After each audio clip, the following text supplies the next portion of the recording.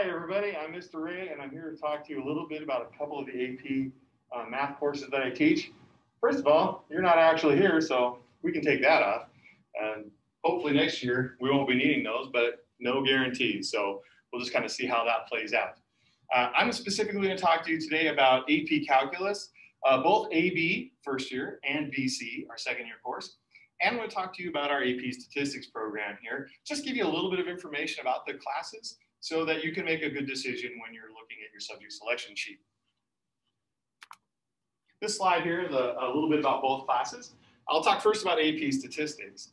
Uh, in order to get into AP Statistics, uh, really what we need from you is a good, solid Algebra 2 uh, background. Anything beyond that is, is nice, uh, and it's uh, important that you have a good background in Algebra 2, so we want to make sure you have a B or better in Algebra 2. If you've gone on in math since then, you honors algebra 2 maybe, or pre-calculus, calculus, or even second year calculus, you're welcome to come and take statistics uh, as long as you have that B or better in algebra 2. Statistics is not a sequential course, meaning it doesn't prepare you for a next course in mathematics the way like pre-calculus gets you ready for calculus. So it's important to remember that you know it's not going to satisfy any prerequisites for anything other than maybe uh, a higher level statistics course. Um, in this course, you are expected at the end to take the AP exam. Typically that happens in middle of May. Uh, this year it's a little bit later because of the COVID uh, situation that we're in right now. Uh, your transcript will show AP course credit, uh, whether you take the exam or not. Uh, the decision to take the exam is really going to be up to you and your family to figure that out, uh, especially if you're going to college. it's um, it's very fluid in terms of from school to school. Their policies on AP credit are pretty different. So you'll want to make sure that you uh, look and research your specific schools that you're interested in when you're trying to decide if the AP exam is right for you. Unfortunately, currently, there are no college and the high school um, partners that are allowing us to teach AP statistics for college credit while you're here. Uh, I'm not sure why, because honestly, it's like a it's like a sophomore level uh, stats class uh, when you go to college. So uh, they should do that, but then unfortunately there are just no partner schools right now. On the other side of the screen here, I have my uh, calculus uh, column. Uh, calculus is a little bit different. It is a sequential math course, meaning uh, it fits in between the pre-calculus and the further studies in calculus.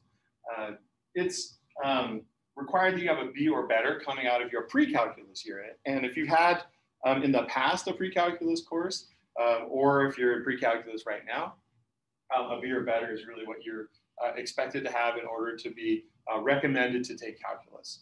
Uh, it's a very rigorous, fast-paced math course, uh, and it is um, it's college level calculus for sure. So it's definitely uh, requires you have a good foundation in, in mathematics. Uh, again, you're supposed to take the AP exam at the end. the AB exam for first years, the BC exam for second years. Uh, there's some overlap. You notice it's A, B, and then B, C. Uh, they do overlap quite a bit.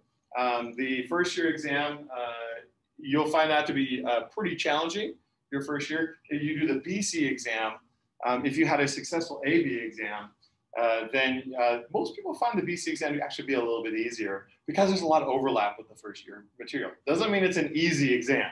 They just find it to be a little bit easier than the first time they took it. again, your transcript will show AP course credit. Um, that's for both classes. Um, you can take the first year course um, for UW College Credit. Uh, that's the new thing that we're announcing this year. Uh, we have partnered with SPSCC in the past, uh, but we are moving our partnership to University of Washington, and we will be offering uh, college and high school. I think it's math 151 and 152. No, that was sorry, that was SPSCC's numbers. it's uh, 124, 125 numbers. Um, at University of Washington. And so it is, it is eligible for 10 credit hours. If you were to do well on the AB exam, you could also get 10 credit hours at the University of Washington.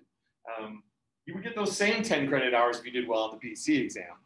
The difference is keep your grade up and you will get your UW transcript started. And these credits are guaranteed if you pay for them.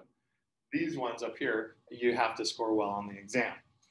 I know it's going to be um, more expensive than the SPSCC credits. It's a lot more expensive than the AP exam. The exams are $100. These credits, uh, they haven't given me the final price for next year. Uh, usually it's around $400 per course. But I can tell you as a dad who has a son who is at UW right now, I would love to pay $400 to get five credits. Uh, those are super cheap credits when you look at how much it costs to actually go to the University of Washington and earn five credits. So uh, a, a, bargain, and you get to do it here, good old OHS, uh, and I think uh, is a nice opportunity for people who that, that, that, that will work well for. A little bit about subject matter. Oops. Um, in statistics, the subject matter is pretty wide ranging. You know, uh, we, we study a lot of things with data. We study a lot of things with probability. And we look at lots of applications. And there are so many applications for statistics, from business and marketing to finance and social services, computer networking, medicine, uh, you name it. There's a whole lot of degrees out there that you can get if you go on into college uh, where you're going to need some sort of statistics background. I have um, many students, former students, who communicate with me and tell me how great it was to have had this opportunity in high school to, to get this background before they went on to college. Um, students who are in uh, at the UW School of Medicine have come back and told me, wow, all of my labs that I do for my medical school, they're really just stats projects like the one we did when we were here. Um, I have students who are at uh, University of Washington School of Computer Science, okay, the Bill Gates School of Computer Science up there. They use a lot of statistics that they do. Um, social scientists, I had a student go to university, or Western Washington University, and switch majors partway through, and all of a sudden he wanted to become a social scientist, and they said, "Oh, you have to have stats." He said, "Well, I took the high school stats class and the AP exam," and they're like, "Oh, perfect. What'd you get on the AP exam?" He's like, "I got a three. They're like, "Done. You passed." So, um, you know, just on and on. There's lots of different applications for this. Uh, and our book that we use and with the stuff I draw in, um, I think we find, we find that you can uh, see how stats is applied in lots of different areas. And so uh, really wide ranging topic. Calculus, uh, a little less wide ranging, let's just say. Uh, really focused in on our future science and engineering majors. Um, we spent a lot of time working on motion problems because um, when Newton invented calculus, he was trying to solve motion problems, really. Um, that's kind of uh, was the impetus behind a lot of his work.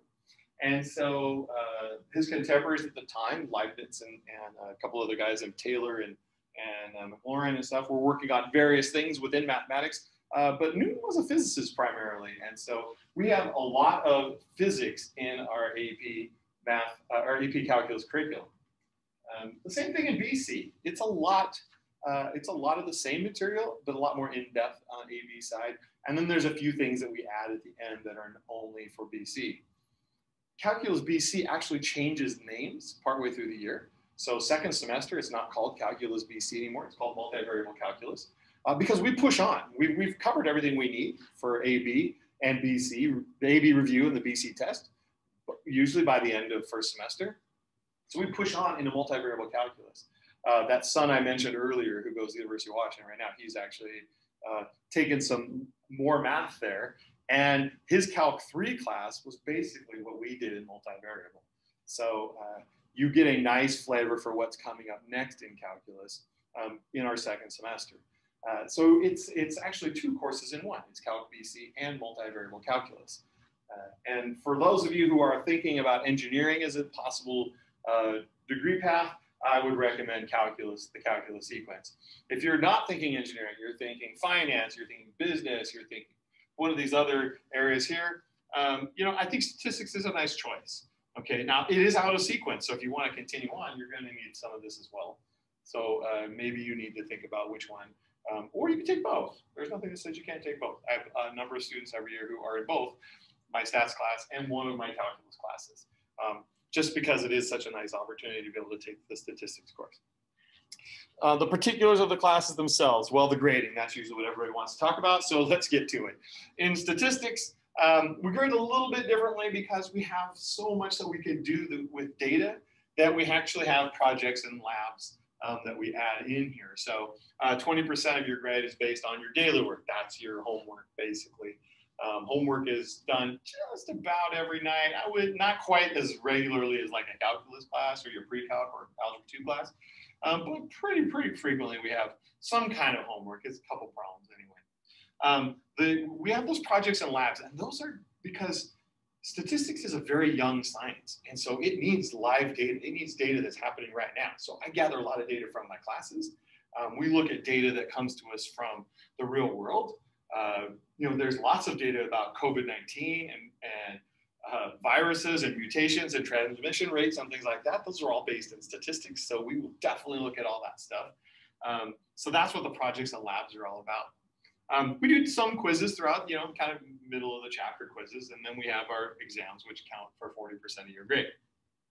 Over here on calculus, I think it's something that's probably uh, you're more used to in your current math class, where 20% of it is your daily work, and then the remaining 80% of it comes from your assessments, um, which is quizzes and exams.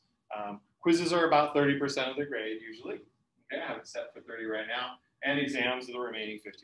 So um, you know, we have about six exams during the uh, semester. Um, we have quizzes interjected kind of in between those. So there's about a dozen opportunities in the assessment part.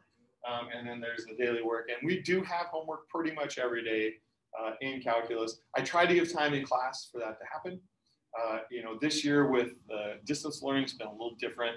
Um, we've, get, we've had a lot more time to work on homework and class time, like working problems. So the homework's primarily been watching videos to learn the topic for the next day. Um, BC uses the same exact grading rubric as AB. Uh, again, pretty much daily homework. Uh, and then um, we have, uh, like I said, about six assessments during a, during a semester for exams, and then probably uh, another six or so quizzes uh, kind of on the opposite weeks from the exams as you work your way through. So that's the grading. Uh, I wouldn't normally say, are there any questions? But of course, this is a video, so you can't ask questions right now. If you do have more questions, though, please feel free to contact me. Uh, I would love to talk to you more about these courses and uh, answer any questions that you might have in terms of, you know, how does the class work or how do you, you know, what about getting into it and those sort of things. So thank you so much for your time. Again, I'm Mr. Rae. I'm the uh, statistics and one of the calculus teachers here at Olympia High School. I'm also the head of the math department. So if you have other math questions, you could also contact me about that. All right. Thanks so much for watching. Goodbye, guys.